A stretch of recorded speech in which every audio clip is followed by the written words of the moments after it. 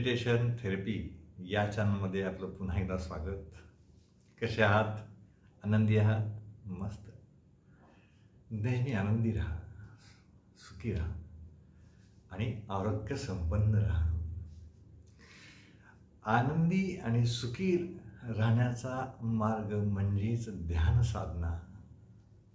हा. योग यम नियम आसन हे सर्व जे आहे हे मानवी जीवनाच्या कल्याणासाठीच आहे. त्याचा सदुपयोग कसा करून घ्यायचा हे आपण ठरवायचं. मी एक तुम्हाला गंमत सांगतो. पाठीमागं आपण काही वर्ष जर गेली एक शंभर वर्षाचा इतिहास पाहिला. पाठीमागच्या भारतीय संस्कृतीचा आणि पाश्चात्य संस्कृतीचा वेस्टर्न कंट्रीज तुम्हाला आश्चर्य वाटेल. वेस्टर्न कंट्रीज अमेरिका असेल युरोप असेल. ज्याला आपण प्रगत राष्ट्र म्हणतो. अशा वेस्टर्न कंट्रीच्या लोकांच्या डेली रुटीनमध्ये डेली लाईफस्टाईलमध्ये त्यांनी रोज सकाळी त्यांच्या लाईफमध्ये योगा सेट केलेला आहे. योगा सेट केलेला आहे. म्हणजेच काय?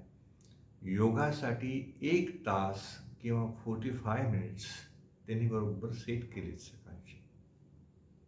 आणि आपण आपली परंपरा आपली संस्कृती आपल्याला मिळालेली एक देणगी या देशात असून सुद्धा आपण वेस्टर्न संस्कृतीच्या आहारी जाऊन योग परंपरा हळूहळू विसरत चाललेलो आहोत. आपण तेवढा पुरतं ते हो म्हणतो. बस. आपलं महत्त्व आपण कशाला देतो? तुम्हाला सांगायची गरजच नाही. असं नाही ते.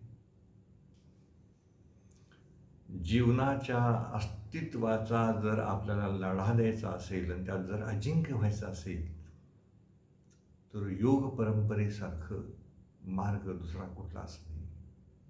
आज आपण सत्संगाच्या विषयी संवाद करणार आहोत.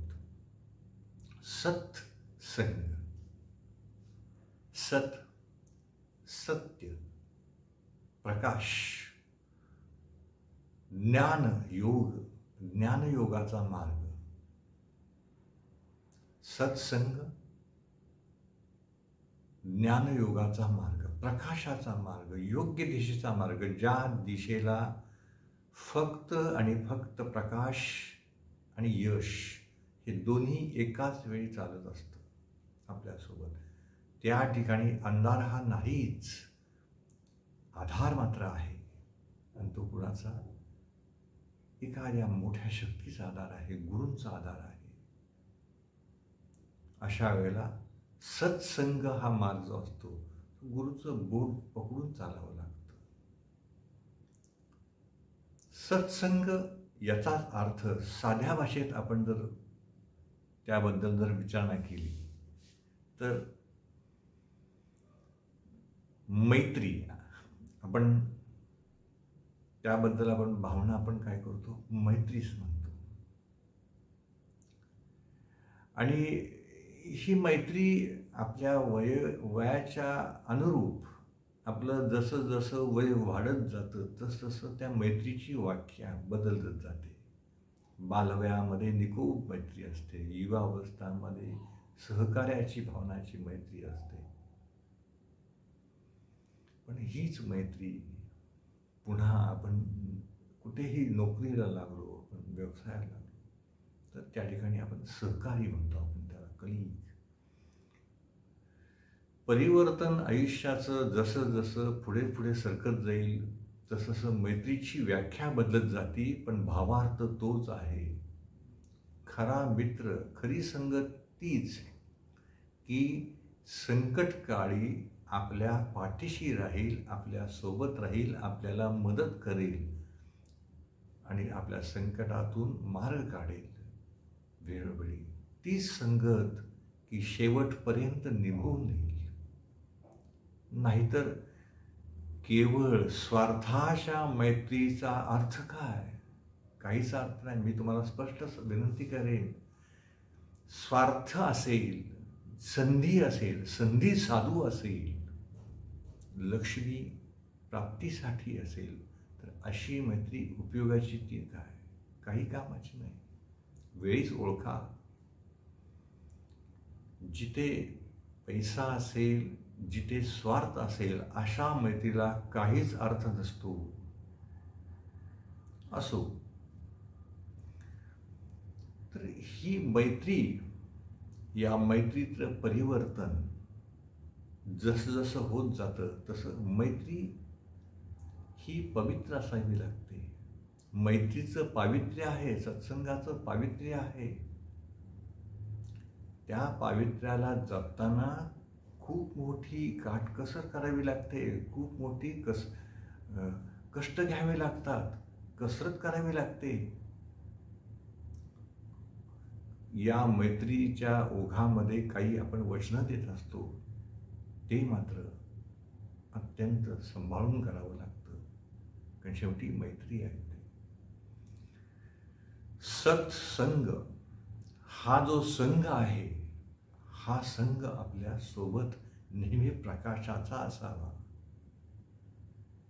ज्या ठिकाणी सत्संग आहे ज्या ठिकाणी सत्संगाचं पावित्र्य आहे त्या ठिकाणी अशक्य ते काय आहे? काहीच नाही.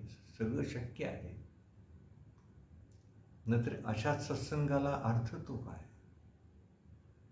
सत्संगामध्ये पावित्र्य असल्यामुळं आपल्याला ध्यान साधने मध्ये सहकार्य मिळतं. ध्यान साधनेमध्ये सहकार्य मिळाल्यानंतर आपल्या मनावरती बंधन ठेवता येतं. हे कशामधून? सत्संगामधून.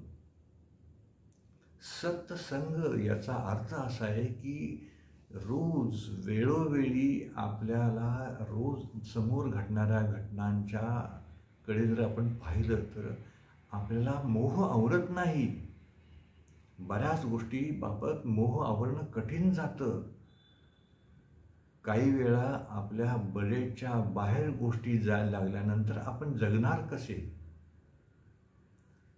याचा विचार करायचा असेल अगदी तर आपल्या मनावरती बंधन असणं अत्यंत आवश्यक आहे मनाला मर्यादा असणं आवश्यक आहे आणि यासाठी वेळोवेळी आपल्या मनावरती बांध घालण्यासाठी आपल्याला सत्संगाची गरज असते आणि सत्संग तो काय एक लक्षात घ्या सत्संगाला जायचं किंवा इथं मंदिरात जायचं अमक्या ठिकाणी जायचं तीर्थयात्रा करायच्या आणि इकडं येऊन आपल्या आपतिष्ठांना नावं ठेवत बसायचं. आपल्या मात्यापित्यांना नावं ठेवायची. आपल्या सख्या बहीणभावंडांना दूषणं द्यायची. काय त्या धर्माचा उपयोग? काय त्या कर्माचा उपयोग? लाखो रुपये दानधर्म करायचा तीर्थक्षेत्राला. आणि घरच्या पत्नीला घरच्या पतीला घरच्या बहीण भावंडांना आई वडिलांना नावं ठेवायची. त्यांच्या भावना दुखवायच्या. शून्य. अशा सत्संग अशी तीर्थयात्रा काय कामाची? काहीच कामाची नाही हो. खरंच तुम्ही आपल्या लोकांना ओळखत नाही आणि मग त्या तीर्थक्षेत्राच्या ठिकाणी जाऊन काय मिळवत आहे माणसातला देव ओळखत नाही मग मूर्तीमधला देव तो बोलत नाही म्हणून तुम्ही तिथं जाताय. जो त्या दिवशी बोलायला लागेल त्या दिवशी ती मूर्ती तुम्हाला तिथे येऊन पण देणार नाही. पण हे जगात खूप कठीण काम आहे. असो तर सत्संगामध्ये पावित्र्य असेल तर त्या पावित्र्याच्या दिशेला महत्त्व असतं. म्हणून सत्संगामध्ये राहणं हे खूप फायदेशीर असतं.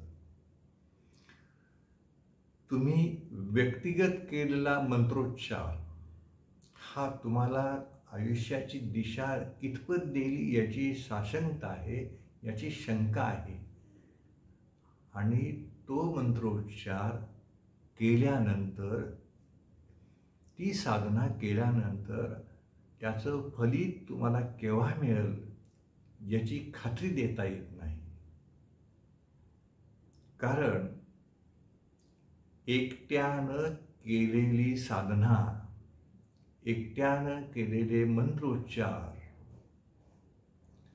हे यामध्ये जर काही त्रुटी राहिल्या असतील तर त्या त्रुटी त्या साधकालाच भोगावे लागतात. त्याचं फलित उशिरा मिळतं आणि तो साधक नाराज होतो. आणि त्या उलट जर तुम्ही सत्संगात राहून जर तुम्ही साधना केली मंत्र साधना केली तर तुमच्या हातून मंत्र उच्चारण उच्चारणामध्ये जर काही त्रुटी झाली असेल तर त्या त्रुटीचा दोष तुम्हाला लागत नाही. हे सत्संगाचं वैशिष्ट्य आहे. दोष तर लागत नाहीच नाही परंतु तुमच्या आयुष्यातील सत्संगामध्ये केलेली मंत्रसाधना ही लवकर फलित देते लवकर परिपक्व होते आणि तुम्हाला व्यावहारिक कामामध्ये यश मिळवून देते. पण मानवी स्वभाव आहे. इगो दुखवला जातो का? तर माझं शिक्षण मी श्रीमंत आहे. माझी पोस्ट अत्यंत उच्च आहे. आणि अशा परिस्थितीत मी भगवंताचं नामस्मरण कसं करणार? नाही. हा मार्ग मी तुम्हाला सांगतोय. कुठला स्वीकाराचा हे तुम्ही ठरवायचे एकट्याने मंत्र साधना करायची की सत्संगामध्ये राहून करायची? आणि हो यजामध्ये सातत्य असेल तर आपल्या जीवनामध्ये यश लवकर मिळतं फलद्रूप साधना फलद्रूप झाल्याबरोबर हमखास यश मिळतंच. पहिल्यांदा आत्मसुख मिळतं मनशांती मिळते आणि नंतर लक्ष्मी मिळते. हे या सत्संगाचं वैशिष्ट्य आहे. सत्संगामध्ये साधना केल्यानंतर दोष लागत नाहीत. म्हणून सत्संग मैत्रीसुद्धा पवित्र असते. तर बंधू भगिनीनो साधक वर्ग माझे विद्यार्थी आजचा हा व्हिडिओ कसा वाटला आपल्याला याबद्दल जरूर कॉमेंट्स करावेत लाईक करावे याबद्दल जरूर मत व्यक्त करावं. खूप धन्यवाद. थँक्यू